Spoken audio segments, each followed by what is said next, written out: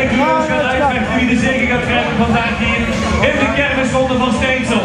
Het sprintduel tussen coach Jeroen hier en het landkastenijs van uh, eindelijk.